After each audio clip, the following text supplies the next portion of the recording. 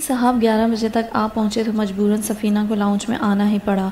सियाह लिबास में सर को दुपट्टे से ढांपे वो चेहरा छुपाए हुए थी। वो ईज़ की औट में सोफ़े पर बैठी। सारी जायदाद उन्होंने अपनी औलाद और बीवी के नाम ही की थी।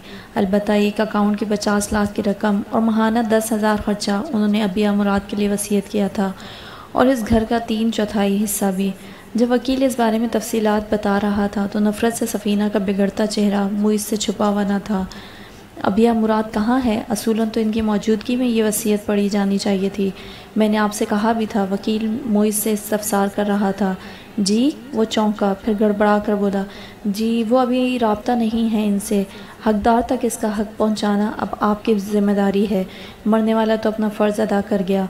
इस सारे लेन देन का गुनाह, सवाब अब आप लोगों पर है। वकील नसीहतनामा मोइस की तरफ़ बढ़ाते हुए कह रहा था फिर इसने खाकी लिफाफा भी मुइस के हवाले किया, जो सरबमहर था।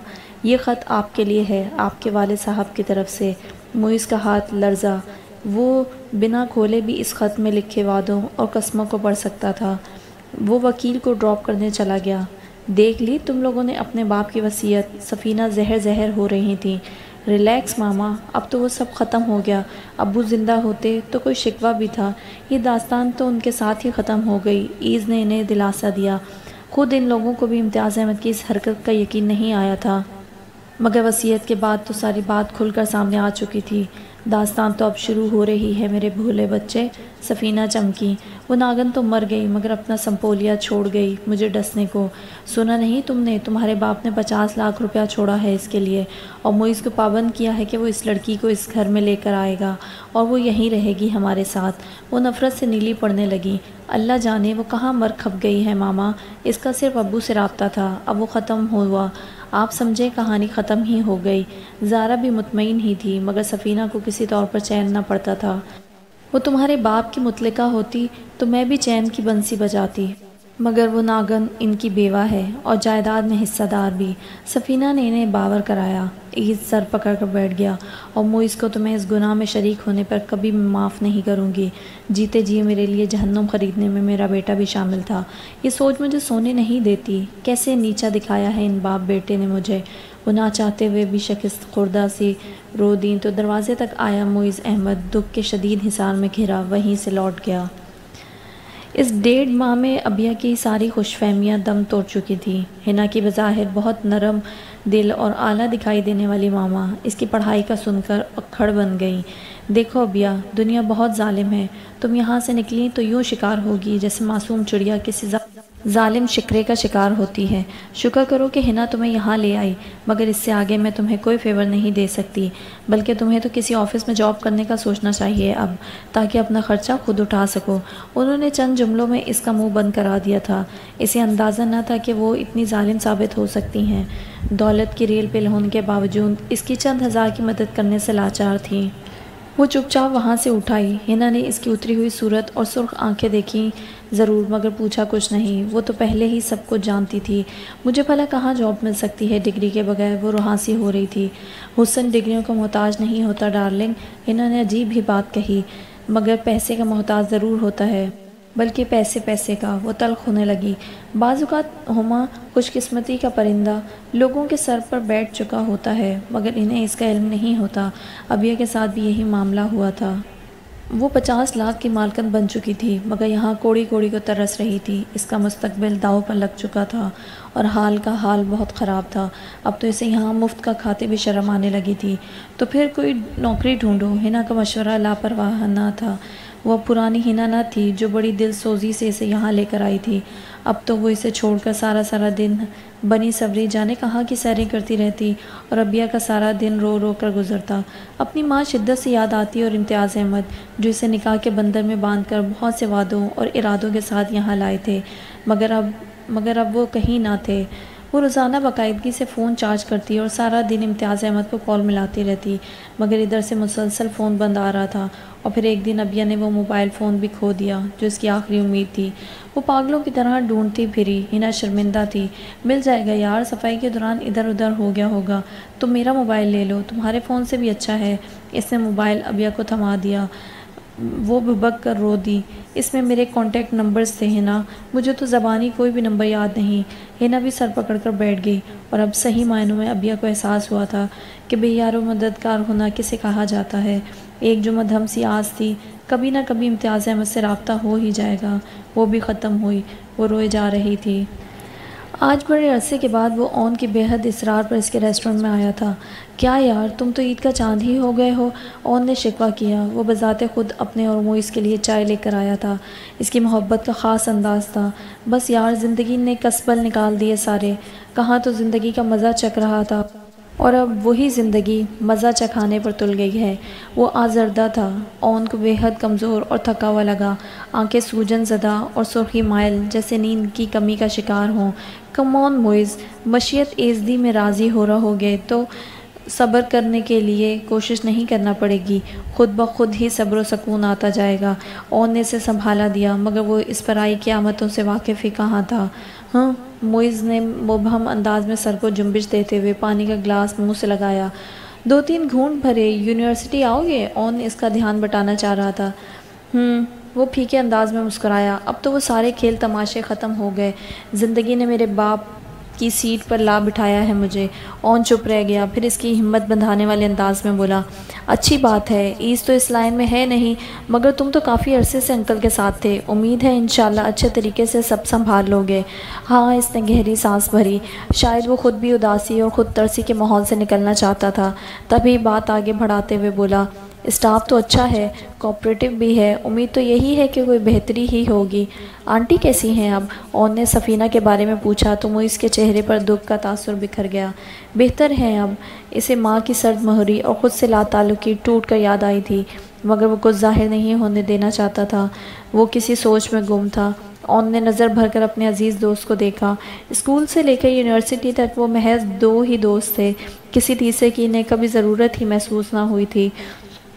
अगर ओन मोहब्बत में तोहहीद का कायल था तो मुइज़ अहमद ने भी दोस्ती निभाने में भी कमी ना की थी। ऑफ़िस कब से जा रहे हो? ओन को इसकी खामोशी से वहशत होने लगी तो घबरा कर फिर से बात शुरू कर दी तो वो चौंका, अभी तो बहुत डिस्टर्ब हूँ थके थके से अंदाज में गोया हुआ। अबू चाहते हुए मुझ पर इतनी जिम्मेदारियाँ डाल गए हैं। सोचता हूँ रोज़े क्यामत, पता नहीं मैं सुरखरू हो पाऊँगा या नहीं। सिद्ध के दिल से निभाओगे तो ज़रूर सुरखरू होगे मुइज़ ओन ने तयक्न से कहा।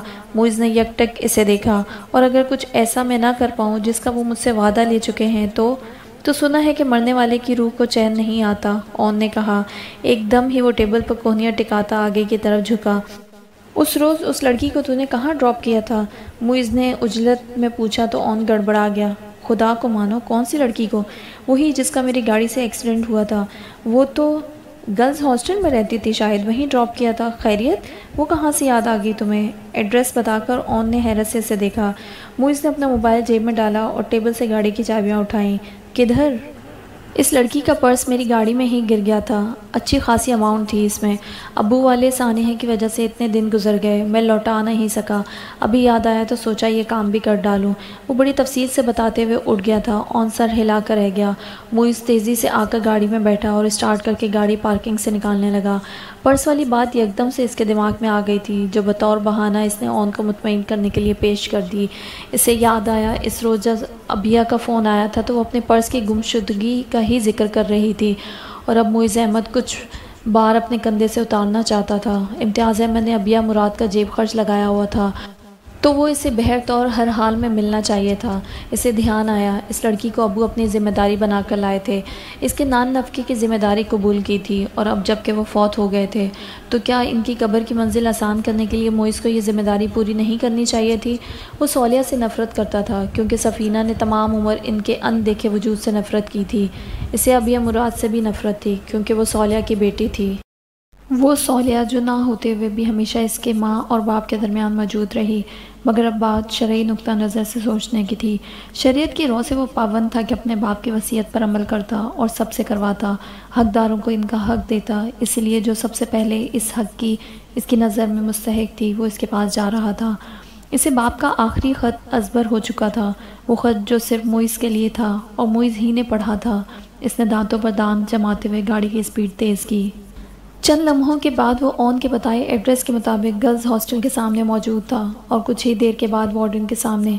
आप किस सिलसिले में अबिया मुराद से मिलना चाहते हैं? वार्डन ने मशकूक अंदाज में से देखा। मैं कज़न हूँ इसका, दूसरे शहर से आया हूँ मुइज़ ने से टहलाया। हम्म वार्डन ने तंजिया हंकारा भरा। मगर वो तो दो माह हुए यहाँ से जा चुकी। मुइस ने बेख्तियार कुर्सी की टेक छोड़कर सीधा हुआ। कहाँ? मेरे ख्याल में आपका इससे कोई ज़्यादा करीबी रिश्ता नहीं है। वरना वो इस कदर बदहाली का शिकार ना होती। एक रोड एक्सीडेंट में इसका पर्स गुम हो गया, जिसमें इसकी हॉस्टल और कॉलेज की फ़ीस थी। नतीजतन ना वो एग्ज़ाम्स दे सकी और ना ही हॉस्टल में रह सकती थी। बुरे हालों में निकलना पड़ा इसे। मगर कहाँ गई वो? जाते वक्त कोई एड्रेस वगैरह नहीं देकर गई? मुइज़ जो साकत सा सुन रहा था, तेज़ी से बोला, नहीं, बस इतना पता है कि इसकी रूममेट हिना इसे अपने साथ ले गई थी। वार्डन अब बेजार होने लगी थी।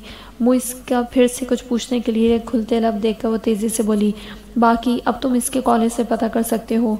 हो सकता है वो प्राइवेट इम्तहान दे रही हो। अलबत्त इतना तुम्हें बता दूँ, इसकी रूममेट की शोहरत अच्छी नहीं थी, कम अज़ कम मेरी नज़र में। मुइस बेख्तियार इसे देखने लगा। इसके घर वालों का कसूर है। इसके यहाँ एडमिशन के बाद सब गोया से भूल ही गए थे। खुदा करे नेक हाथों में हो वो। वार्डन ने तासुब से कहा तो वो कुर्सी घसीटता उठ खड़ा हुआ। कॉलेज का नाम बता सकती हैं आप? जहाँ बिया पढ़ती थी। मुइज़ ने आखिरी सवाल पूछा। कॉलेज का नाम सुनकर वो चौंका। वार्डन के कमरे से निकलकर बाहर गाड़ी तक पहुँचते इसे याद आ चुका था कि वही कॉलेज था जहाँ रुबाब एहसन पढ़ती थी। फाइनल ईयर और रुबाब के भी एग्ज़ाम्स हो रहे हैं। शायद वो अबिया मुराद को जानती हो। मुझ इसका जहन तेज़ी से सोच रहा था। इसने गाड़ी का रुख रुबाब के घर की जाने वाली सड़क की तरफ़ मोड़ दिया। वो इस सिलसिले में ख़ुद को सुरखरू करने के लिए अपनी सी कोशिश करना चाहता था। बाकी जो अल्लाह को मंजूर। वो नए टाउन के स्काइप पर अपनी बेस्ट फ्रेंड सुम्बुल से गप्पे लगा रही थी। बड़ा हॉट टॉपिक जेर गुफ्तगु था। अच्छा शक्ल से तो इतना अमीर नहीं लगता था। और गाड़ी इसकी नई थी, मगर हज़ारों ऐसी चला रहे हैं। सुम्बुल ने मज़ाक उड़ाया। काश तुम इस दिन साथ होती तो फिर देखती। तीन ब्रांड न्यू गाड़ियाँ इसके वसीओ अरीज पोर्च में खड़ी थी। इसकी शक्ल पे मत जाओ, वो सिर्फ़ शक्ल ही से गरीब लगता है। रुबाब हँसी। कम ऑन रुबाब, अब और कितना खींचोगी इस मामले को? टास्क पूरा हो गया, अब दफ़ा करो। कहीं वो सीरियस ही ना हो जाए तुम्हारे लिए। सुम्बल ने से डराया। ये वाहिद बंदा था जिसके साथ टास्क पूरा होने के बाद भी रुबाब ने दोस्ती ख़त्म ना की थी। अभी तो एग्ज़ाम्स हो रहे हैं। फ़ोन मुलाकात बिल्कुल बंद है। डोंट वरी रुबाब ने इसे तसल्ली दी। मुझे लग रहा है तुम इसके मुतालिक सीरियस हो। सुम्बल ने इसे घूर के देखा तो वो खिलखिलाकर हँसी, फिर आह भरकर बोली, बस थोड़ी सी गड़बड़ की वजह से मुझे मेरा आइडिया मिलते मिलते रह गया। वो क्या गड़बड़ है? सुम्बल ने दिलचस्पी से पूछा, वो ये कि मेरा आइडियल घर सैफ़ी के पास है और शक्ल सूरत मोइज़ अहमद के पास। वो हसरत से इस तरह बोली कि इसके साथ साथ बात के अख्ताम पर सुम्बुल भी हंसने लगी। फिर बोली, एक ही हल है, दोनों के साथ कुछ अरसे के लिए शादी कर सकती हो तुम। इन जहनी बीमार लड़कियों की गुफ्तु अकेले में यूँ ही अखलाक से आ रही होती थी। बज़ाहिर इन्हें देखकर कोई अंदाज़ा न कर सकता था कि वो इस तरह की लच्छर गुफ्तु भी कर सकती हैं। है ना, ज़्यादती? मर्दों को तो घट्टी चार की इजाज़त दी है अल्लाह ने। औरतों के पास दिल नहीं होता क्या? रुबाब ने मुँह बनाया। बहुत सी बातें जो ऐसे ही मज़ाक में कहती जाती हैं, मगर ऐसी बातों की पकड़ भी ऐसे ही हो जाया करती है। अच्छा बस करो। किसी मुफ्ती मुल्ला ने सुन लिया तो गर्दन उतरवा देगा तुम्हारी सुम्बुल हँसी। बहरहाल थैंक्स टू गॉड अगर वो लड़के ना बनाता तो हम तो बहुत बोर होती यार, रुबाब ने कहका लगाकर कहा। रुबाब, इस मामले में अब खासी पक्की हो चुकी थी। किसी को हाथ तक ना पकड़ने देती, मगर ऐसे घुमा और चक्कर देती कि लड़के इसके पीछे दुम हिलाते फिरते, और चंद दिनों के बाद रुबाब नामी तितली फुर से उड़ जाती। ये तो है, सुम्बुल ने इसकी हाँ में हाँ मिलाई। वो सब रुबाब की तरह मुख्तलिफ़ लड़कों को फंसा कर इनके जज्बात से खेलने की आदि तो ना थी, मगर इन सब ही ने एक एक बॉयफ्रेंड ज़रूर बना रखा था, जो इसकी जहनी करवाहट और परागंदी का सबूत था। इसी वक्त रुबाब का मोबाइल बजने लगा। इसने स्क्रीन पर नज़र डाली, फिर मोबाइल उठाते हुए सुम्बुल को आँख मार कर बोली, मुइज़ की कॉल है, ओके, फिर बात करेंगे। Okay best of luck Rubab call attend करती कंप्यूटर के सामने से उठकर अपने बेड की तरफ़ आ गई। हेलो मोइज़ कैसे हो? इसका लहजा पुरजोश था। वो मोइज़ को दिल से पसंद करती थी, क्योंकि वो इसके साथ महज एक सहेली जैसा था। दो सही सहेली। ना तो वो इसके लबो रुखसार की तारीफ़ करता था और ना इसके हुसन खूबसूरती पर मरता था। तुझको अपना न बनाया तो मेरा नाम नहीं। वो अक्सर मोइज़ के लिए गुनगुनाती या शायद खुद को बावर कराती रहती थी। अभी मुझे इन्फॉर्म तो करते, मैं तैयार हो जाती। वो ठनकी कहीं जाना नहीं है, तुम्हारे लॉन ही में टहल लेंगे बस। वो अपने आने का बताकर फ़ोन बंद कर चुका था। रुबाब के होठों पर मुस्कुराहट फैल गई। इसे जल्द से जल्द शोला बनने का तरीका बहुत अच्छी तरह आता था। अगले चंद मिनटों में वो ब्लैक ट्राउज़र और पिंक टॉप पहने तैयार थी। स्टाइलिश सा पिंक टॉप इसकी रंगत को जगमगा रहा था। और कुछ ना दिखाई देने वाली मेकअप का कमाल इससे मुलाजिम को हदायत कर दी। मुइज आए तो इसे ऊपर टेरेस पर भेज देना और साथ ही दो कॉफ़ी ले आना। वो खुद टेरेस पर आ गई। चंद ही लम्हों के बाद इसने मुइज की गाड़ी को अंदर आते देखा तो इसके लोगों पर मुस्कुराहट फैल गई। वो गाड़ी से उतर कर अब बालों में हाथ फेर रहा था। मुलाजमा इसके पास खड़ी यकीनन रुबाब ही का पैगाम इसे दे रही थी। वो इसने टेरिस की तरफ़ देखा तो रुबाब ने हाथ हिलाया। वो अंदर की तरफ़ बढ़ गया। रुबाब का दिल अनोखी से तरंग में धड़कने लगा। आज घर में कोई भी नहीं था। माँ सिवाय रुबाब के। क्या आज भी वो दिल की बात ना कहेगा? रुबाब के होठों पर जीत लेने वाली मुस्कुराहट थी। वो तेज़ी से सीढ़ियाँ चढ़ता ऊपर आया।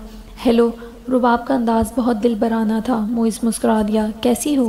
ये तो आज तुम बताओगे। वो इसके पास आकर इसके सीने पर अंगुश शहादत खुबोकर इसकी आँखों में देखते हुए बोली, बैठते हैं। मोइस ने कुर्सियों की तरफ़ इशारा किया तो रुबाब गहरी सांस भरकर इसके पीछे आई। आज कितने दिनों बाद, बल्कि महीनों के बाद आए हो? रुबाब को शुकवा बजा था। इम्तियाज़ अहमद की वफ़ात और बाद में आते जाते मोइस से सामना तो हुआ, मगर यूँ रूबरू आज मुलाकात हो रही थी। तुम जानती तो हो सब, वो ठहरे पानियों जैसा पुरसकून था, मगर यही सुकून रुबाब के अंदर तलातम पैदा कर रहा था। इसे अब तक वास्ता पड़ने वाले मर्दों की सताइशी और तरसी हुई नज़रें याद आने लगीं। अंकल आंटी कहाँ हैं? मुइस की नज़रें इसके चेहरे पर थीं। मिलने वालों में फ़ंक्शन था, वहीं गए हैं, रात तक वापसी होगी। रुबाब ने धीमी मुस्कुराहट के साथ अपनी नज़रों में इसकी नज़रों को जकड़ रखा था। मुलाजमा कॉफ़ी के दो मग रख गई। मुइज़ इसे कॉफ़ी रखते देखने लगा मगर रुबाब की निगाह अभी भी मुइज़ पर थी। मैंने तुम्हें इतना याद किया। तुम मुझे रोज़ाना सोने से पहले कॉल तो करती हो मुइज़ ने इसे याद दिलाया।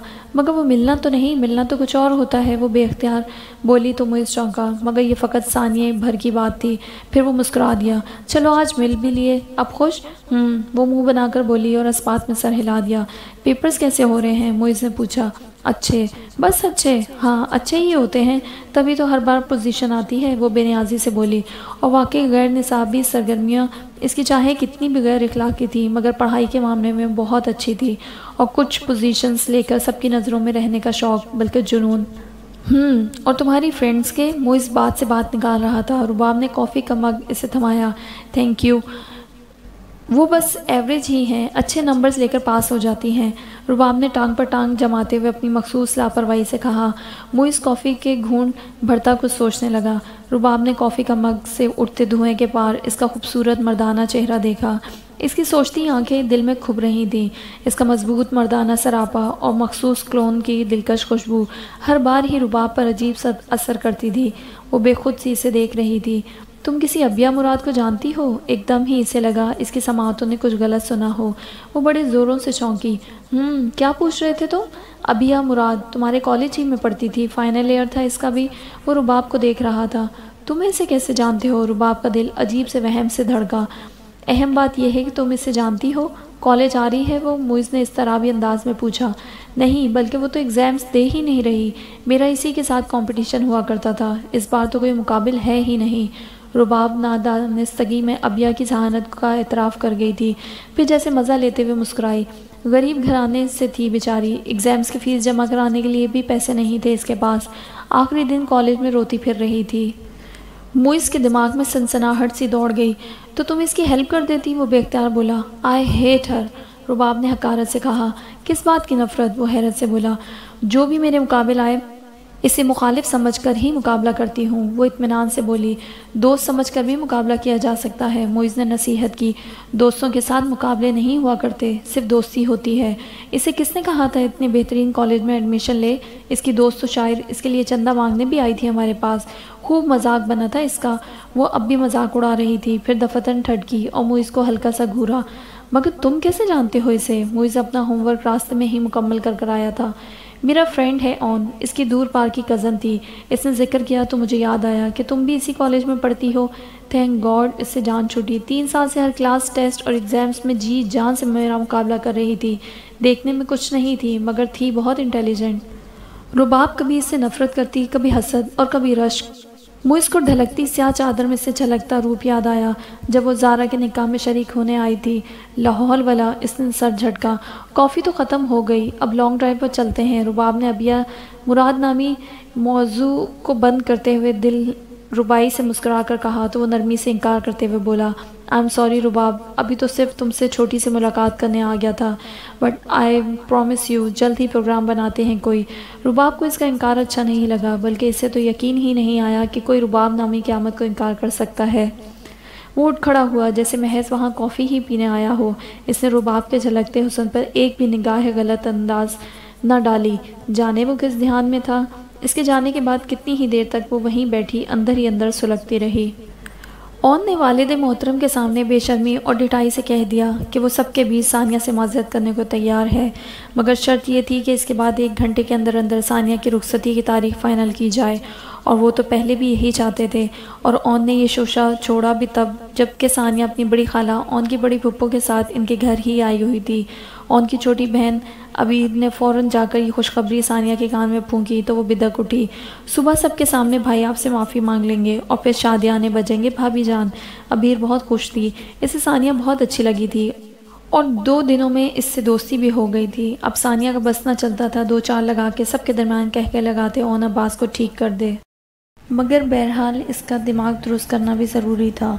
लंबी महफिल चली। सानिया तो जल्दी उठकर अपने और अबीर के कमरे में आ गई। अबीर भी सो चुकी थी, इसका सुबह ज़रूरी टेस्ट था। मगर सानिया करवटों पर करवटें बदल रही थी। इसे याद आया कैसे ओन ने इससे शादी से इनकार किया था। जिस रिश्तेदार के हाथ इसने पैगाम भेजा, इसने ना सिर्फ़ सानिया के घर, बल्कि पूरे ख़ानदान में ओन के इनकार के अल्फाज को नशर किया था। सानिया के तदियाल वाले तो यूँ भी बचपन से इस रिश्ते के ख़िलाफ़ थे। सबने तानों तशनों की बारिश कर दी। इसकी फैमिली को क्या क्या बातें ना सुनना पड़ी थी। और आ इतनी आसानी से तुम अपनी मन की मुराद पाना चाहते हो? हाँ कभी नहीं। पहले तुमने इनकार किया था, अब मैं करूँगी। वो सुलग रही थी। शदीद गुस्से और बेबसी से आँखें बार बार भर आती। फिर कुछ फैसला करके वो उठी। रात के साढ़े बारह बज चुके थे। वो दुबट्टा शारों पर डालती, कमरे से निकली। तो टीवी लॉन्च में खामोशी थी। इसने देखा, सभी सोने के लिए जा चुके थे। किचन में जाकर पानी पीने के बाद इसने हिम्मत पकड़ी और धड़कते दिल के साथ इधर उधर देखती ओन के कमरे की तरफ़ बढ़ी। चंद सेकंड दरवाजे के बाहर खड़े होकर इसने जैसे अपनी हिम्मत मुश्तमा की और फिर दरवाजे की नौब घुमाकर जल्दी से अंदर दाखिल हुई। इधर से ओन भी शायद बाहर ही निकलने लगा था। दोनों का तसादम शदीद था। सानिया को संभालते संभालते वो भी ज़मीन बोस हो गया था। खुशबुओं से भरी लचकीली डाल थी जो इस पर लद गई थी। इसका दिल ओन के सीने में धड़क रहा था। सानिया के तो हवास ही उड़ गए। चोर चोर वो शरारत से धीमे लेजे में बोला तो सानिया बिजली की सी तेज़ी के साथ परे हटी।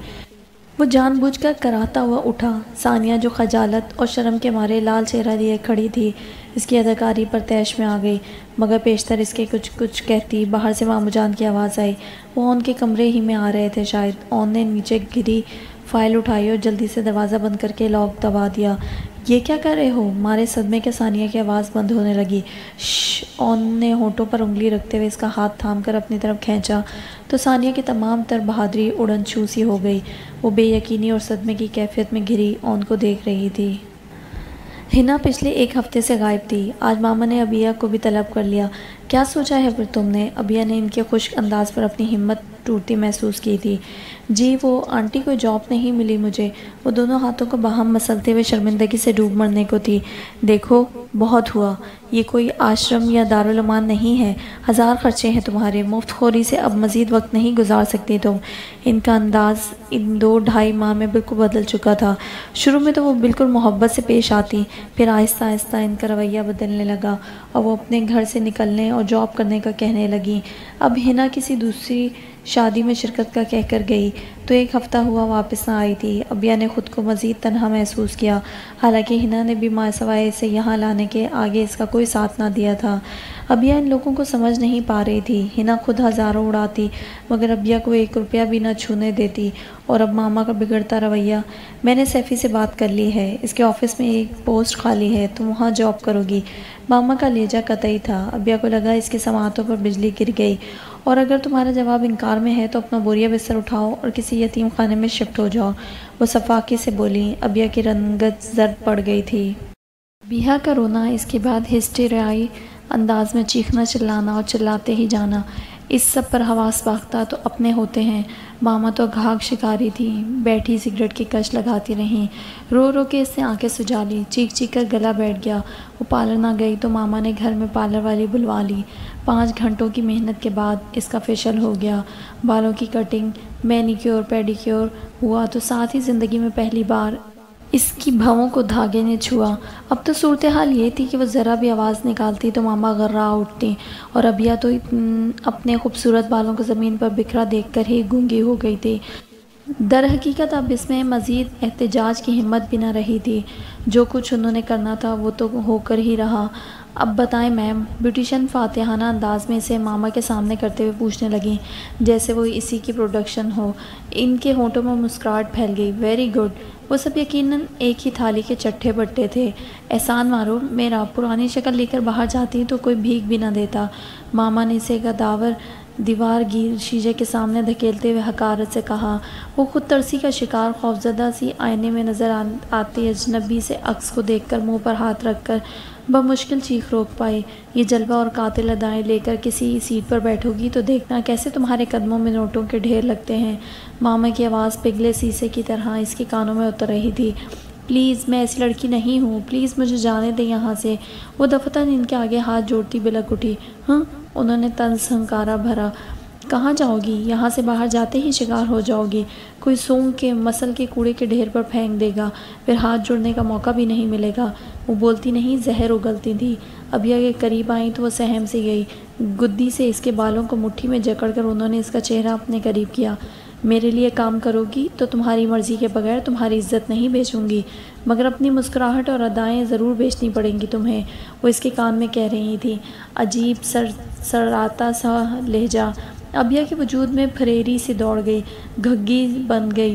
प्लीज़ प्लीज़ उन्होंने इसके बालों को झटका दिया तो तकलीफ़ की शिद्दत से अबिया की चीख निकल गई।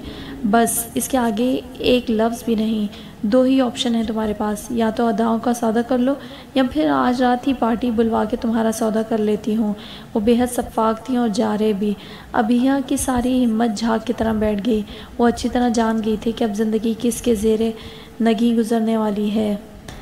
इसकी वार्ड्रोब में नित नए ड्रेसेस आ गए। इसे पब्लिक डीलिंग के इसरार और रमूज मामा ने सिखाए, जिन्हें सुनकर वो थर्रा गई। मगर ये बहरहाल तय था कि वो इस दलदल में उतरने वाली थी।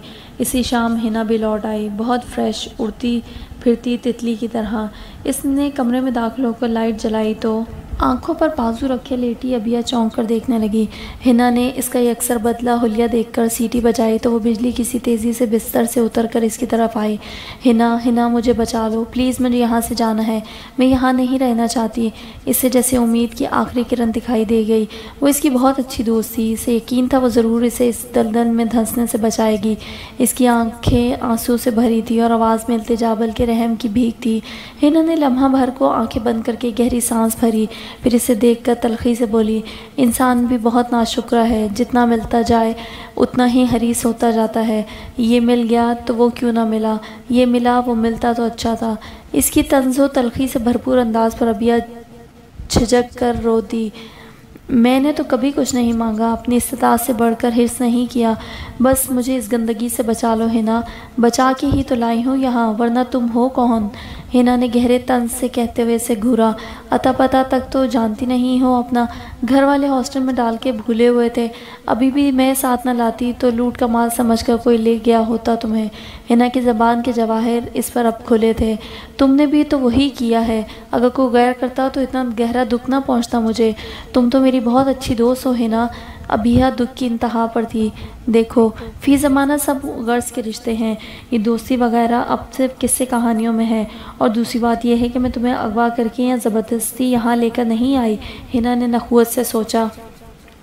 मगर अब यहाँ नहीं रहना चाहती है ना, वो बहुत खौफजदा लग रही थी। मैंने तुम्हें अव्वल रोज़ ही बावर करा दिया था। इस घर में आदमी आता तो अपनी मर्ज़ी से है, मगर जाने की परमिशन सिर्फ़ और सिर्फ़ मैम ही दे सकती हैं। ये हिना की दीदा दलेरी थी, वो इसके सामने अब मामा को मैम कह रही थी। मैं ये सब नहीं कर सकती है ना, तुम जानती हो मुझे, वो घुगिया कर बोली। वो माफ़ी की हर हद तक जा सकती थी, अगर हिना से मैम के चुंगल से निजात दिला देती। सिर्फ़ पहला कदम उठाते खौफ आता है, फिर तो फुल इन्जॉयमेंट है। तुमने देखा नहीं, छोटा बच्चा भी सिर्फ़ पहला कदम उठाते ही डरता है। इसके बाद बखुशी दौड़ता है, तुम भी ये कड़वा घून पी लो। इसके बाद सारे मीठे घून भी तुम्हारे ही हैं। वो बेहद इतमान से इसे मशवरा दे रही थी, फिर इसे गोया इसकी खुशमत, खुशकिस्मती का एहसास दिलाते हुए बोली और तुम तो लकी हो कि सिर्फ़ ऑफ़िस सेक्रेटरी बनकर अदाएँ दिखाने की जॉब मिली है। मुझे जब मेरी सुतेरी माँ मैम के पास जॉब के लिए छोड़कर गई थी तो मेरी अना और ख़ुददारी को आते ही मैम ने अपने ड्राइवर के आगे डाल दिया। सोच सकती हो तुम? जब तक मेरे अंदर से सेल्फ़ रिस्पेक्ट ख़त्म नहीं हो गई, मुझे इस भूखे कुत्ते के सामने हड्डी की तरह डाले रखा। वो चुंगम का रैपर उतारते हुए बहुत सुकून से अपनी आप बीती सुना रही थी। अबिया की रीढ़ की हड्डी में सनसनाहट दौड़ गई। इसके रोंगटे खड़े हो गए। और अब अब मैं तुम्हारे सामने हूँ। एक पॉलिश शुदा, नई निकोर है ना। वो ड्राइवर भी हाथ बांधे मैडम मैडम करता फिरता है अब। इसकी खुशफहमी के अजीब ही अंदाज से अबिया को कराइयत आई। वो बेख्तियार हिना से दो कदम दूर हट गई और वो तुम्हारे चचा जानते हुए भी अबिया ने हकलाकर पूछ ही लिया हाँ चचा। हिना के मुँह से इसने पहली बार गंदी गाली सुनी थी। यतीम लड़की बनकर पहली बार इस कुत्ते से मदद मांगी तो इसने साफ़ इनकार कर दिया कि हराम की कमाई नहीं मेहनत का पैसा है। ऐसे ही गरीबों यतीमों पर नहीं लुटा सकता। फिर जब अपनी चमड़ी दिखाई तो इसने दमड़ी निकालने में एक मिनट नहीं लगाया। ये दुनिया नेकों के लिए है ही नहीं मेरी जान, और तुम तो वैसे भी बेवकूफ़ हो। इस रोज़ मैंने ऑफ़र भी की थी। एक दो घंटे इस कमीने चच्चा पर लगाती तो पर्स भर के लौटाता तुम्हें। आराम से एग्ज़ाम्स देती, और साथ ये पार्ट टाइम भी जारी रहता। हिना की ग्राउंड की कोई हद ना थी। अबिया की रंगत तो ये सब मावराए इंसानियत गुफ्तु सुनकर सफ़ेद पड़ गई। मानो खून का एक कतरा ना हो जिसम में वो पीछे हटकर बिस्तर पर टिक गई। थोड़ी देर और खड़ी रहती तो शायद गिर ही जाती। चलो, कहीं आउटिंग पर चलते हैं। तुम्हारा मूड भी ठीक हो जाएगा और फ्रेश एयर में कुछ बेहतर भी सोच सकोगी। तुम यहाँ से दफ़ा हो जाओ, है ना? मेरी पहली और आखिरी ख्वाहिश यही है कि तुम मुझे दिखाई ना दो। अबिया ने नफ़रत से इसे देखा। गलाजत में लिथड़ी नज़र आती थी। वो गंदे रिश्तों को बाप, भाई और चचा के पर्दों में छुपा कर कारोबार करने वाली। इसे ख्याल आया तभी सैफ़ी के भाई कहने पर तिल मिलाया करता था, मगर हिना का दिल कभी इस गुनाह से न लर्जा था। ओके बेस्ट ऑफ़ लक वैसे भी ये जगह दोस्तियाँ निभाने के लिए नहीं है, और मेरी जो ड्यूटी थी, वो तो मैं पूरी कर चुकी। वो शान उचका कर इतमान से कहती चली गई तो वो ख़ुद को पूरी तरह बेबस महसूस करते हुए फूट फूट कर रोने लगी। क्या कर रहे हो? रुबाब की फ्रेश सी आवाज़ पर इसे फ्रेश नहीं कर पाई। आज वो सही मायनों में इम्तियाज़ अहमद की सीट पर आकर बैठा तो बेहद डिस्टर्ब था। वो अपने बाप की सीट पर बैठने की हिम्मत खुद में नहीं पाता था, मगर इस कमरे से उठती बाप की महक और इसकी यादों ने इसे मजबूर किया। कि वो यहीं बैठे, वरना इसका अपना ऑफ़िस भी मौजूद था। वो मोदी साहब के साथ सर खपा रहा था, जो इसकी गैर मौजूदगी और इम्तियाज़ अहमद की नागहानी मौत के बायस फैक्ट्री का काम संभाल रहे थे। इस अरसे में मुइस की अदम दिलचस्पी के बायस कई कॉन्ट्रैक्ट मनसूख करने पड़े थे, जिसकी वजह से काफ़ी नुकसान भी हुआ था। मोदी साहब ने न सिर्फ़ मैनेजर की पोस्ट पर थे, बल्कि इम्तियाज़ अहमद के दोस्त भी थे, इसलिए मोइस के दिल में इनके लिए एहतराम था। तो वो भी इसे अपने बच्चों की तरह समझते थे और बिज़नेस के इसरार और रूमूज समझाते थे। ऐसे में रुबाब का फ़ोन आना, वो सचमुच डिस्टर्ब हुआ था। अच्छा ऐसा है कि मैं थोड़ा बिज़ी हूँ, तुम बाद में कॉल करना, बल्कि मैं फ़ारिग होकर ख़ुद कॉल कर लूँगा। मोइस का जहन मोदी साहब के मशवरों में उलझा हुआ था। रुबाब को इसने उजलत में जवाब दिया, इसने साथ ही उके खुदाफिज कहकर दोबारा मोदी साहब की तरफ़ मुतवजा हुआ था। रुबाब ने बेतबारी से अपने सेलफोन को देखा। इसे अपनी शदीद हित तक महसूस हुई। ऐसे तो इसे ज़िंदगी में कभी किसी ने न टरखाया था। वही एक को जूते की नोक पर रखा करती थी। वो लब को चलने लगी। इसे ध्यान आया मोइस वो पहला लड़का था जिसकी तरफ़ वो खुद बढ़ी थी। वरना इससे पहले तो वो इन्हीं के दिलों से खेली थी जिनकी नज़रों में अपने लिए सताइश देखी थी। वो भी मुइस की तबीयत साफ़ करना चाहती थी। इसने दोबारा कॉल मिलाई, मगर अब की बार मोइज़ ने इसकी कॉल अटेंड करने की भी जहमत ना की थी। मारे गुस्से के रुबाब के हाथ कांपने लगे, और ऐसा गैज़ गज़ब के आलम में इसके साथ हमेशा ही होता था। इसने मोइज़ को गाली देते हुए मोबाइल एक तरफ़ उछाल दिया।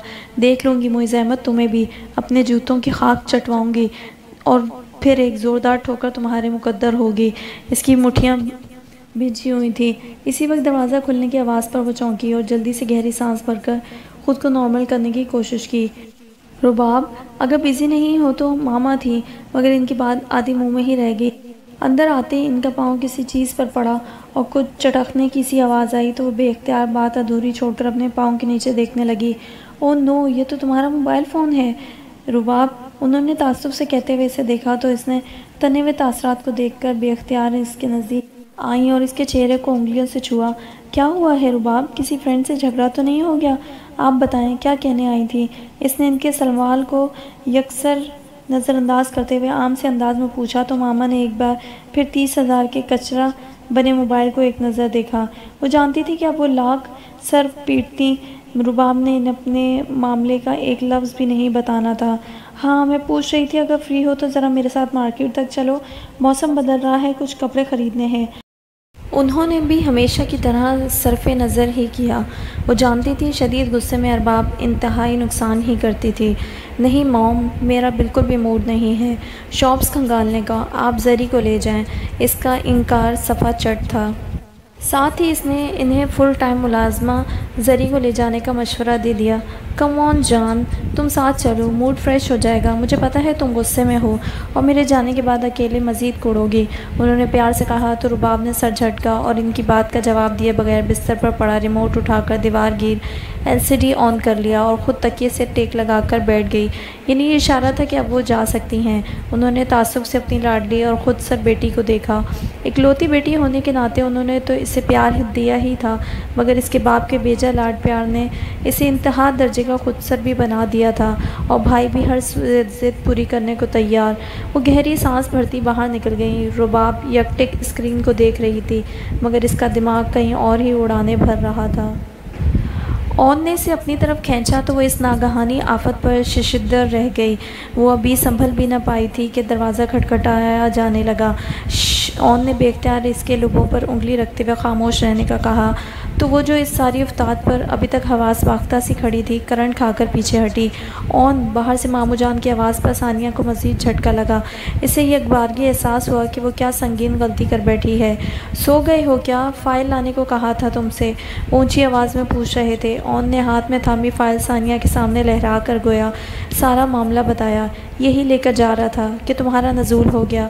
सरगोशी में कहा तो सानिया ने दांत पीस कर धीमी आवाज़ में कहा, दरवाज़ा खोलो, खोल देता हूँ, मगर फिर बाहर वालों को तुम ही सफाइयाँ पेश करना। क्या आधी रात को मेरे कमरे में क्या कर रही थी?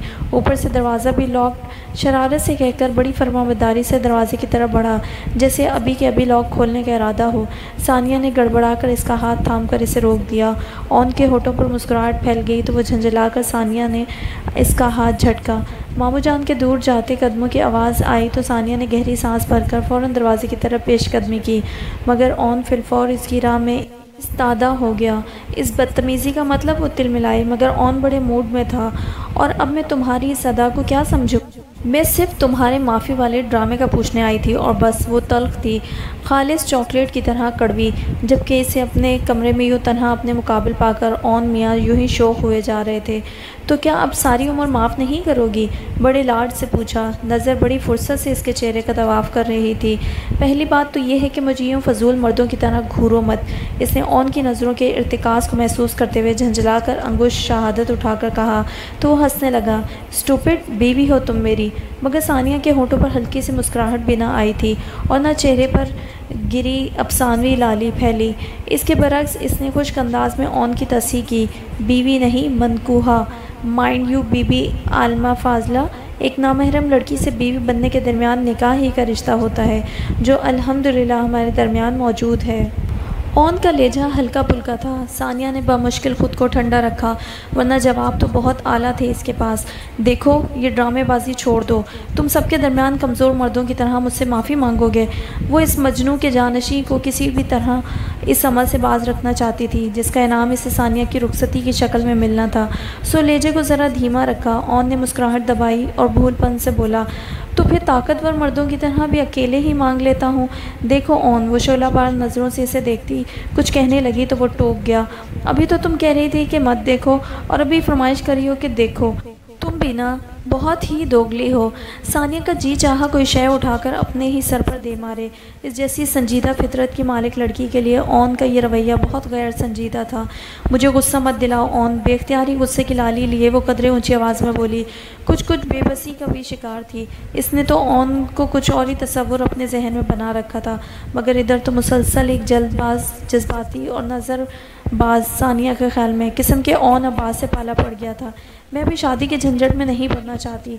तुम चाहते हो मैं लंदन ना जाऊँ? Okay, done. मगर सुबह तुम मुझसे कोई माफ़ी नहीं मांगोगे और ना ही मेरी रुखसती का मुतालबा करोगे। इसका अंदाज दो टोक था ओन ने गहरी निगाह इस पर डाली। मगर कोई वजह भी तो हो तुम्हारी बात मानने की? वो बोला तो अब की बार लहजे में संजीदगी भरी लापरवाही थी। सानिया चिड़कर बोली ये वजह क्या कम है कि मैं खुद अपनी रुखसती से इनकार कर रही हूँ? तुम्हें तो फ़ौर शहरों की तरह मेरी बात को अना का मसला बना लेना चाहिए और ख़ुद इस रुखसती से अना इनकार कर देना चाहिए। क्या तुम किसी आई I मीन mean, कोई और है तुम्हारी ज़िंदगी में? लम्हा भर के तवक़ के बाद ओन ने बेहद संजीदगी से पूछा तो सानिया की रंगत में गुस्से की सुर्खी घुल गई। तुमसे मैं हर इंतहाई सोच की तो कर सकती हूँ इसने तलखी से कहा और हाथ के इशारे से से परे हटने का कहा। ओके, यानी तुम्हारी ज़िंदगी में सिर्फ़ मैं हूँ, वो मुतमिन हुआ। तो फिर क्या मसला है यार? क्यों सीधे हमारे मामले को गुंजल बना रही हो? सानिया ने दांतों पर दांत जमाए, फिर खुद पर जब्त करते हुए तलखी से बोली, मुझे तुम पर एतबार नहीं है। तुम जो महज पानी की सतह से देखकर इसकी गहराई का अंदाज़ा लगाने की कोशिश करते हो, ये समझे बगैर कि पानी में उतरे बगैर इसकी गहराई का अंदाज़ा नहीं लगाया जा सकता। वो इसे हाथ से धकेल कर दरवाजे की तरफ़ बढ़ी तो ऑन इसका वही हाथ अपने हाथ की मज़बूत गिरफ्त में थाम लिया। सानिया बेख्तियार पलटी तो इसे अपने मद्दे मुकाबल पाया। इसके मलबूस से उठती थी गहरी दिलकश खुशबू इसके नथनों में घुसती चली गई। चलो यार, मान लिया मैंने बेवकूफ़ी की थी, मगर अब मैं पानी में उतर कर इसकी गहराई पाना चाहता हूँ।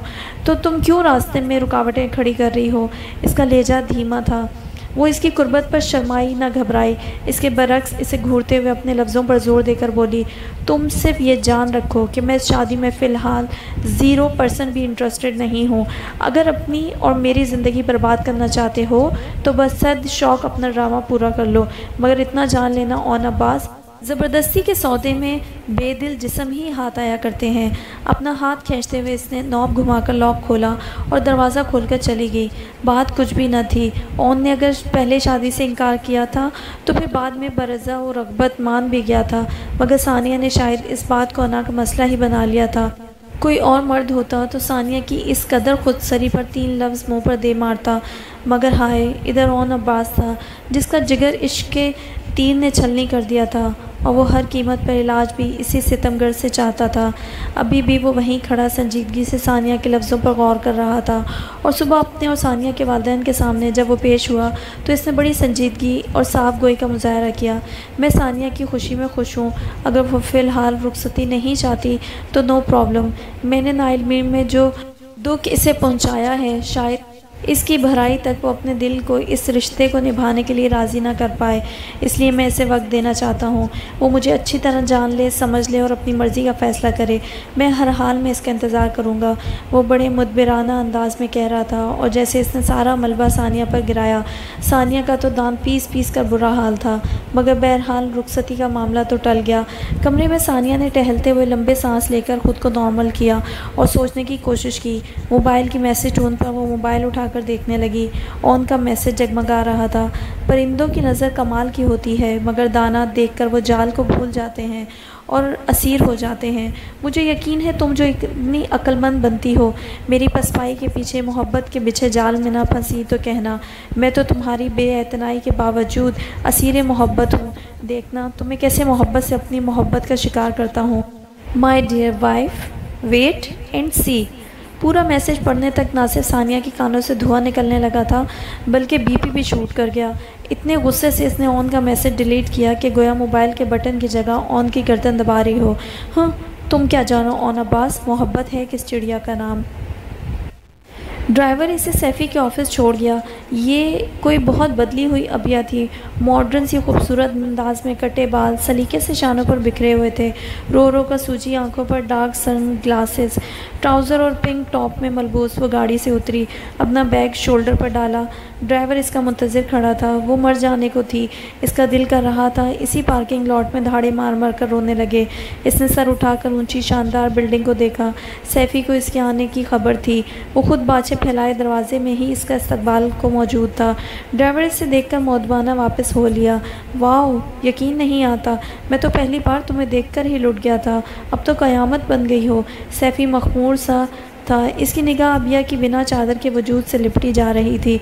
वो बेख्तियार सिमटी, मगर ना दुबट्टा, ना स्काफ इसके दिल से नोहे उठे बे आवाज़ आहें और चीखें। सैफ़ी ने इसके शाने पर बाजू फैलाना चाहा। मैं खुद चल सकती हूँ, वो सख्ती से बोली। तो लम्हा भर हैरान होने के बाद वो हंस दिया। ओके एज़ यू विश चलो, बाकी स्टाफ से तुम्हारा तारुफ करवा दूँ।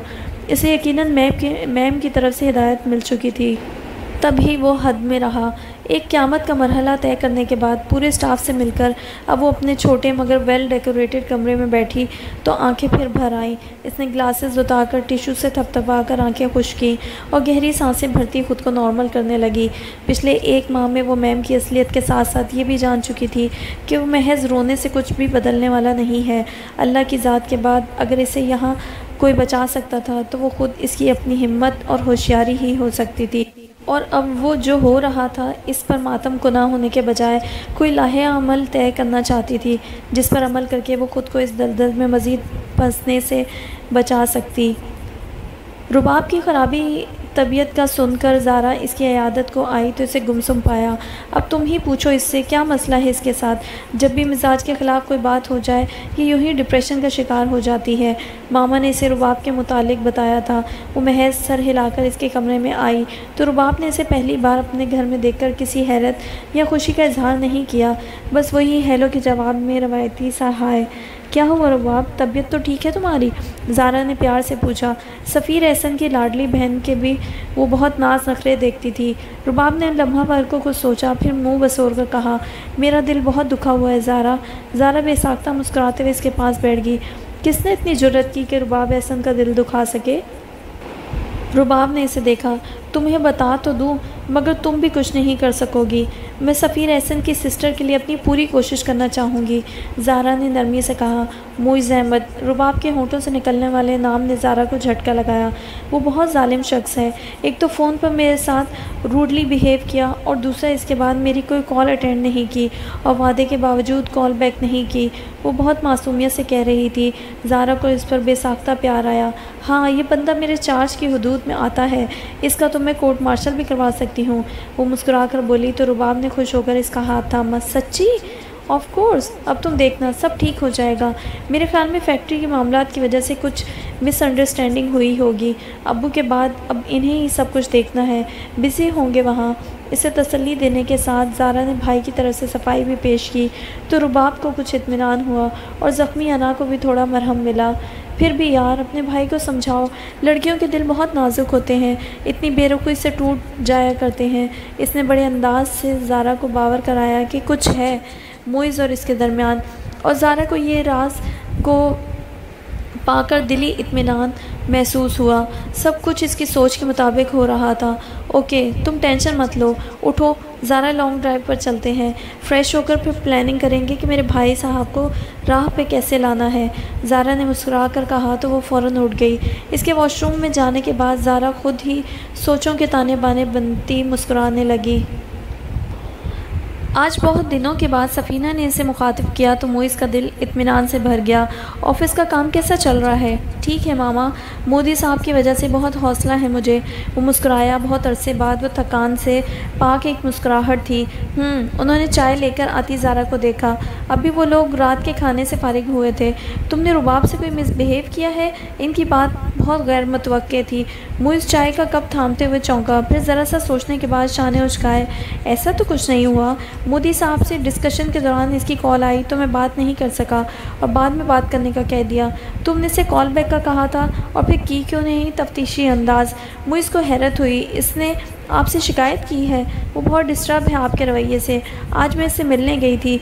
ज़ारा ने भी गुफ्तु में हिस्सा लिया। इसमें डिस्टर्बेंस वाली कौन सी बात है?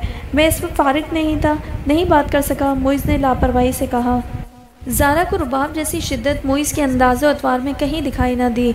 वो कल से आपकी कॉल का वेट कर रही थी। ज़ारा ने जताया कम ऑन ज़ारा इतनी ही ज़रूरी बात थी तो वो मुझे दोबारा कॉल कर लेती। मुझे वाकई बाद में याद नहीं रहा था। मोइज़ ने बात ख़त्म कर दी। ये कोई आम सी बात नहीं है, मोइज़। तुम्हारी बहन के ससुराल का मामला है। सफ़ीना ने बात को आगे बढ़ाया तो मोइज़ को हल्की सी झंझलाहट ने घेरा। आप मेरी रुबाब से दोस्ती को बहन के ससुराल से अलग ही रखें, मामा। मैं इससे ज़ारा की नंद के हवाले से नहीं, बल्कि एक फ्रेंड के हवाले से मिलता हूँ। तुम्हारे समझने से रिश्ता बदल नहीं जाएगा मुइज़। सफ़ीना ने इसे जताया। वो सफ़ीर की बहुत लाडली बहन है। इसने मुझे कहा है रुबाब का बहुत ख्याल रखने को। ज़ारा खाम खा ही हसास हो रही थी। तुम तो तुम रखो इसका ख्याल। मुझ पर कोई पाबंदी नहीं है। मुइज़ अब इसे मौजू से चिढ़ने लगा था। ज़ारा को इसका अंदाज़ बुरा लगा। तभी वो मज़ीद कुछ कहे बगैर उठकर चली गई। तुम ठीक कह रहे हो मुइज़।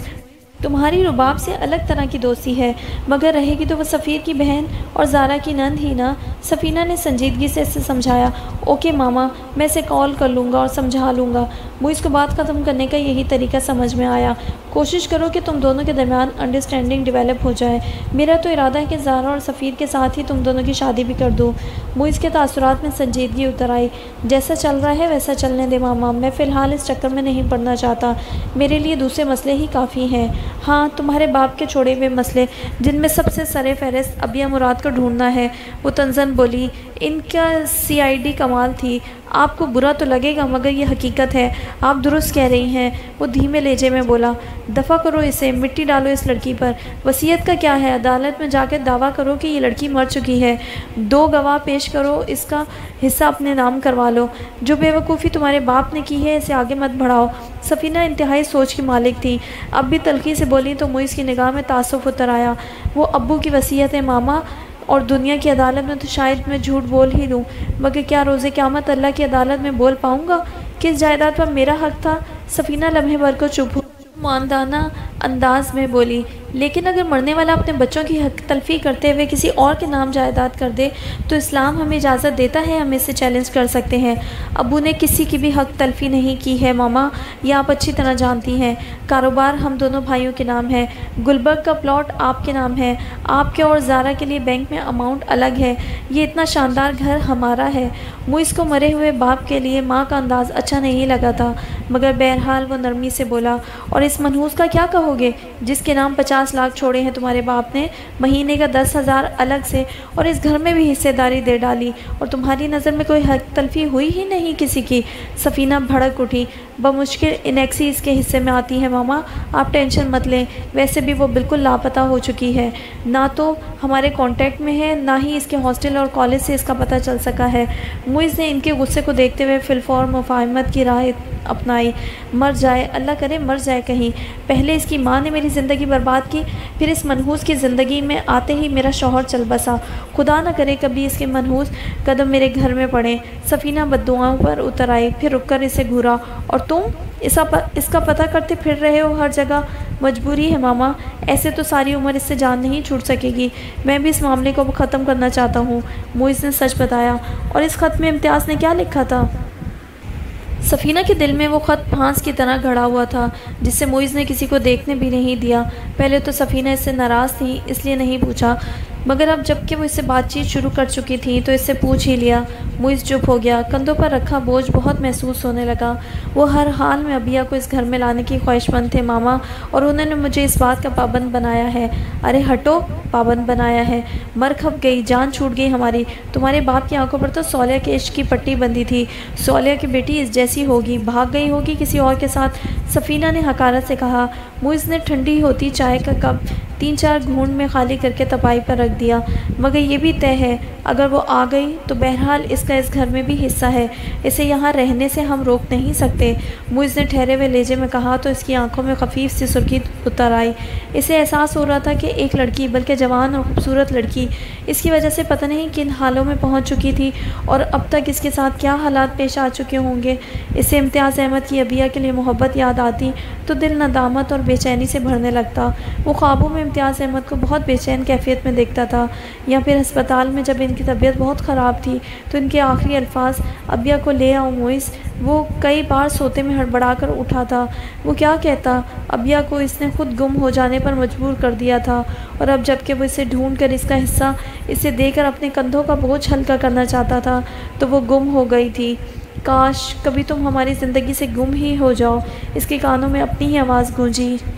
तो वो घबरा कर उठ खड़ा हुआ, रुबाब से बात ज़रूर कर लेना और अब तुम जहन में ये बात ज़रूर रखो मोइस कि मैं रुबाब को इस घर की बहू बनाना चाहती हूँ। सफ़ीना ने इसे बावर कराया तो वो कुछ कहे बिना कमरे की तरफ़ चल पड़ा।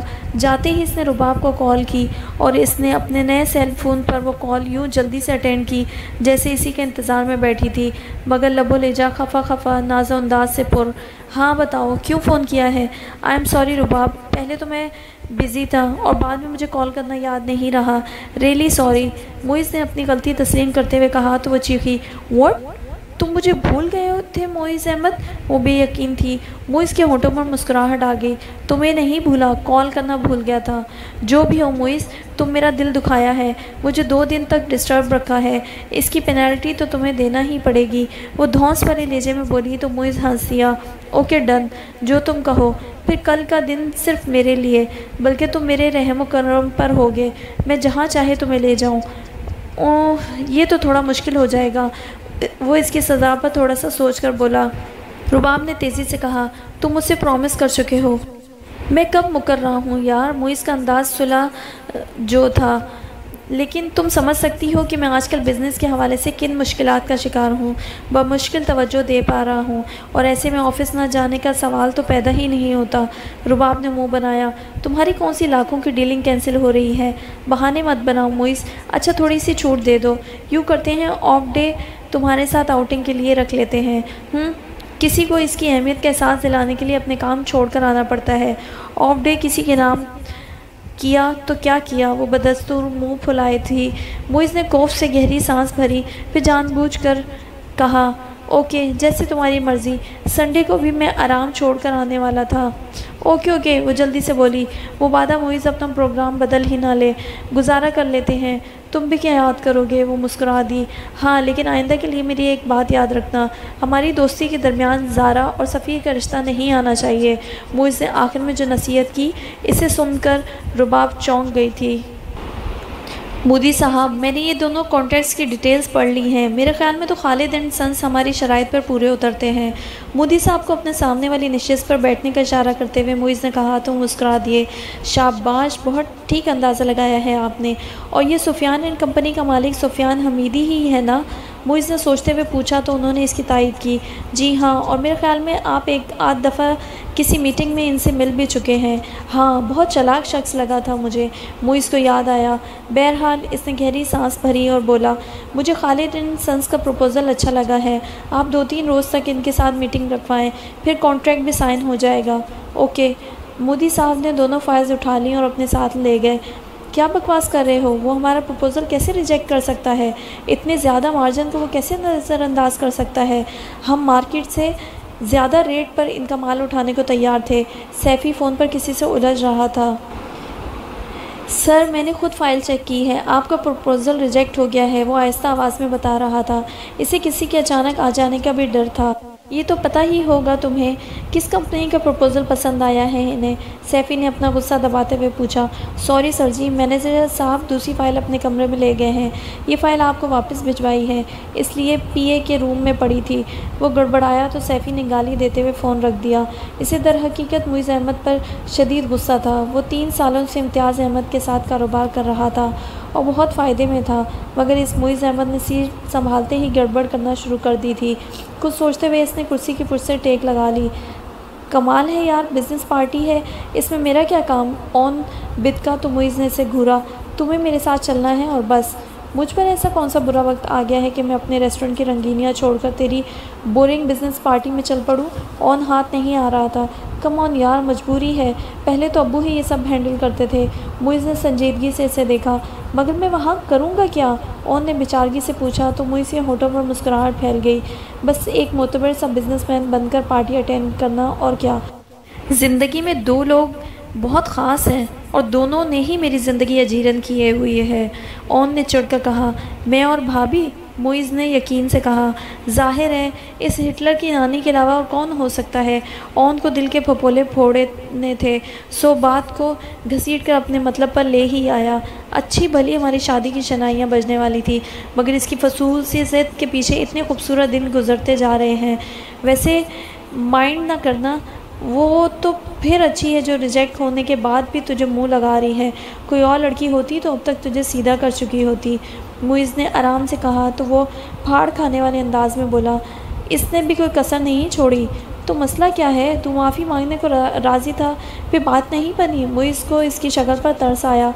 इसे अब मेरी किसी बात, किसी वादे पर यकीन नहीं, और ना ही एतराफ़ मोहब्बत पर और ने मुँह लटकाया। तुम जैसे जल्दबाज और जज्बाती बंदे की यही सज़ा होनी चाहिए।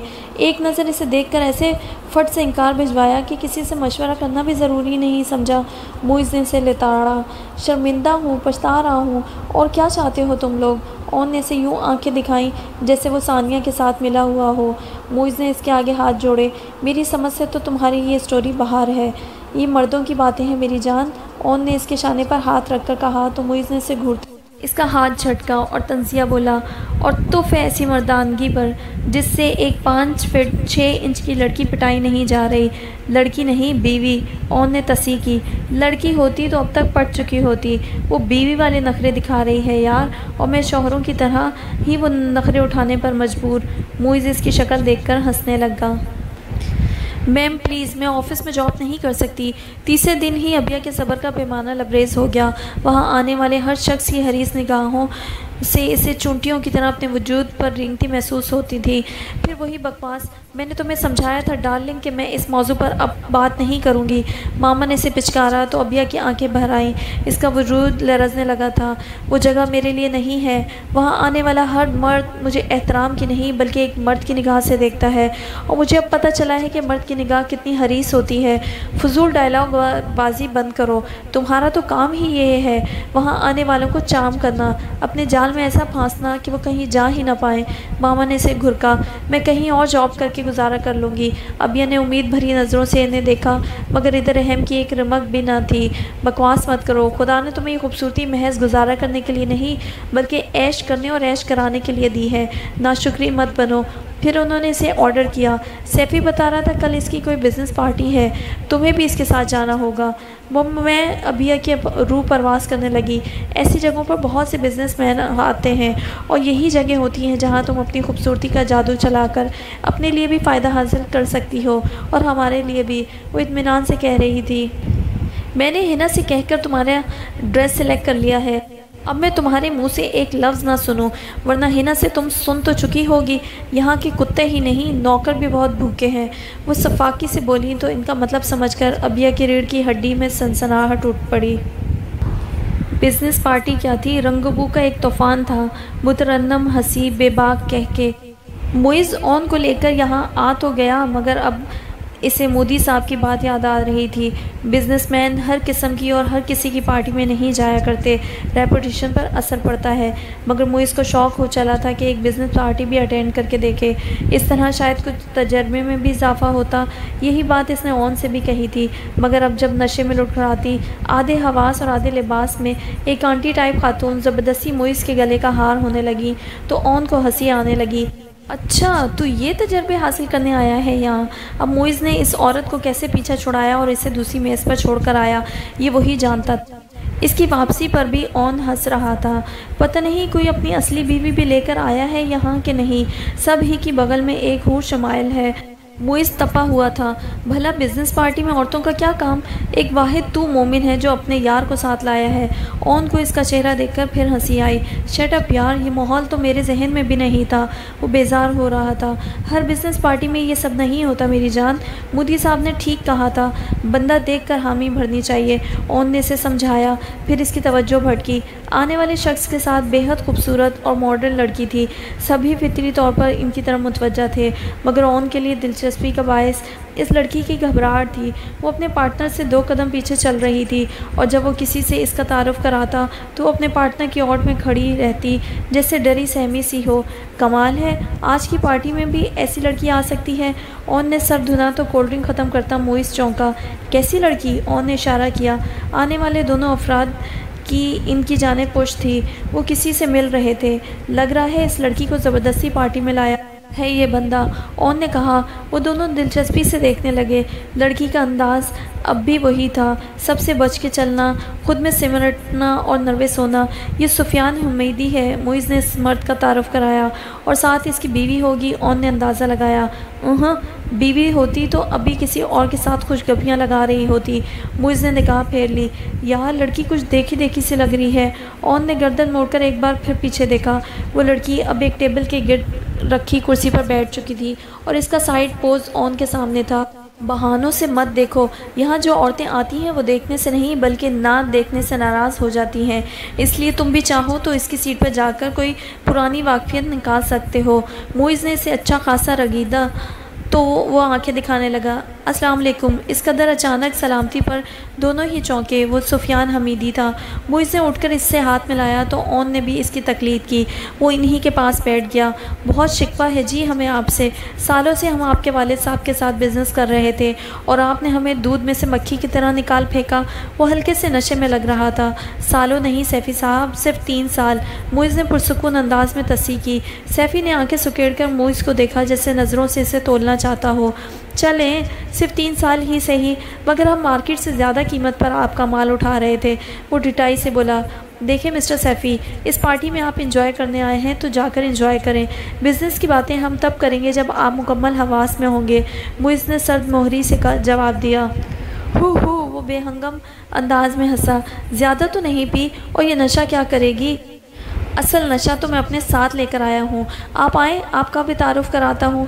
वो राजदाना अंदाज में बोला तो ओन ने बेख्तियार मुइस की तरफ़ देखा। वो यकीनन अपने साथ आने वाली लड़की की बात कर रहा था। नो थैंक्स मुइस का अंदाज़ खुश था। आए तो आपका दिल खुश हो जाएगा। आँखें चुंदिया जाएँगी। ऐसा कोरा और बेदाग हुसन है। सैफ़ी की अपनी भी जैसे राल टपक रही थी। इन दोनों को कराइत महसूस होने लगी। मुइस भड़का। तुम हमें समझ क्या रहे हो? कहीं और जाके अपना कारोबार करो। ओन ने इसके हाथ पर हाथ रखकर इसे ठंडा रहने का इशारा किया और आहिस्ता से बोला, वो नशे में है। तुम तो होश में हो, पुरसकून रहो। वो इन लोगों में से था जो ज़रा से नशे में भी लुढ़क जाते हैं। तभी ऊट पटांग उल फुल बोले जा रहा था। मुझसे अपना मोबाइल और कीचेन उठाई। किधर? कहीं और बैठते हैं यार, वो बेजार था। ओन हंसा यार जैसा देश वैसा भेज वैसे इसकी ऑफ़र बुरी नहीं है, मगर सानिया को खासी बुरी लगेगी। अगर अभी मैं इसे कॉल करके बताऊँ तो। मुझ इसे धमकाते हुए बोला तो वो गड़गड़ाया। मज़ाक कर रहा हूँ यार। सैफ़ी किसी के बुलाने पर वहाँ से उठ कर गया तो वो दोनों पुरसकून हो गए। बस तय है, आइंदा से मोदी साहब तय करेंगे कि मुझे किस पार्टी में जाना चाहिए और किसमें नहीं। मुइज़ ने तहिया किया। हाँ जब तक तुम बड़े नहीं हो जाते, ओन ने लुकमा दिया। पता नहीं यार औरतों को ये कौन सी किस्में हैं जिन्हें घर की चार दीवारी के बजाय शमय महफिल बनने में ज़्यादा मज़ा आता है? मुइस को सैफ़ी की बातों पर तासुफ हो रहा था। इसी वक्त चटाक की आवाज़ के साथ किसी थप्पड़ की आवाज़ गूंजी तो सबकी तरह इनकी गर्दन भी उधर को घूमी। सैफ़ी की सेक्रेटरी ने खाम खा बेतकल्लुफ़ होते एक उधेड़ उम्र आदमी को थप्पड़ दे मारा था। सैफ़ी का नशा हिरन हो गया। जवाबन इसने अपनी सेक्रेटरी को ज़ोरदार थप्पड़ मारा तो वो लुड़खड़ा के नीचे गिर गई। फिर तो सब जैसे सकते में आ गए। फिर किसी ने सैफ़ी को संभाला और कुछ लोग बात ख़त्म कराने को बीच में आ गए। ओ गॉड, औरत की इतनी तस्लील मुझ का दिल मुकदर होने लगा। वो ऑन को लिए फ़ौर उठ गया। कोई मजबूर लड़की होगी जो इसके चुंगल में फंसी हुई है। ओन ने तबसरा किया, फिर उलझ कर बोला, मगर यार, दूर से देखी देखी लग रही है। जैसे मैं पहले भी कहीं मिल चुका हूँ। इसे दूर से ही देखो, जिसने करीब से देखना चाहा, इसका हाल देखा है ना तुमने? सैफ़ी ने वहाँ तो गैदरिंग के ख्याल से बात नहीं बढ़ाई, मगर वापस आके इसने सारी बात मैडम को बताई। उन्होंने लर्जा बरानदाम अबिया को सर्द निगाहों से देखा, फिर सामने सोफे पर बैठते हुए बोली, मैंने इसे तुम्हारे हवाले कर दिया है सैफ़ी, तुम्हारी मुजरिम है, जो दिल चाहे करो इसके साथ। और इसके बाद सैफ़ी ने दिल खोल कर अपना गुस्सा इस पर निकाला। थप्पड़, घूसे, लाते, इसका होंठ फट गया। मेज़ का कोना पेशानी में खुब गया, खून से इसका चेहरा तर हो गया, रुखसार की हड्डी पर चोट आई, वो चीखती चलाती इधर उधर भागती रही, मगर इसकी सुनवाई ना हुई। इज़्ज़तदार, ज़्यादा इज़्ज़तदार बनती है, मार मार के सैफ़ी थक गया। वो बेहोशी की कैफियत में कारपेट पर गिर गई तो मैडम ने हाथ उठाकर गोया रेसलिंग ख़त्म होने का इशारा किया। इसे समझा लें, आपका कारोबार भी जाएगा और मेरा भी। वो जहर खंदा लेजे में कहकर चला गया। मैडम ने आवाज़ देकर मुलाजिम को बुलाया और अबिया को उठाकर इसे कमरे में ले जाने और इसके ज़ख्म साफ़ करने को कहा और ख़ुद इतमान से टीवी लगाकर चैनल बदलने लगी।